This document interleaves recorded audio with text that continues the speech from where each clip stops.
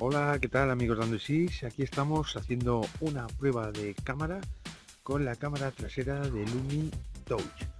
Una cámara trasera con una resolución de 13,3 megapíxeles que es capaz de grabar vídeo en eh, Full HD, o sea 1920 por 1080 líneas. Bueno, una cámara resultona, no es de lo mejorcito que he podido ver en este rango precio, es un terminal que está en torno a los 130 euros, pero bueno, una cámara que desempeña bien su función y que como veis es capaz de grabar vídeo en Full HD, que la verdad nos da una, un muy buen resultado.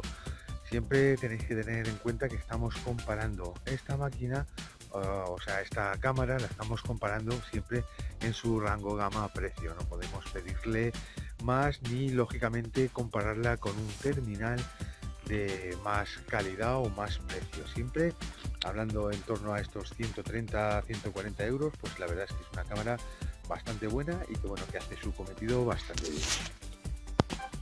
Bueno, como veis estamos aquí haciendo la grabación de vídeo, la prueba de cámara de Lumi Touch y bueno, la cámara delantera cuenta con una resolución de 5 megapíxeles y es capaz de grabar vídeo en eh, calidad HD, o sea 1280 x 720.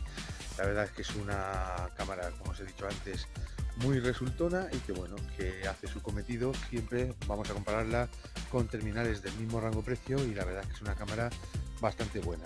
Una cámara que bueno, como veis el vídeo se graba bastante bien, el sonido es bastante bueno y eh, tanto vídeo como fotografía, pues bueno, hace su cometido. No es ni de lo mejor que he podido ver en un terminal Android de este rango precio, pero tampoco es lo peor.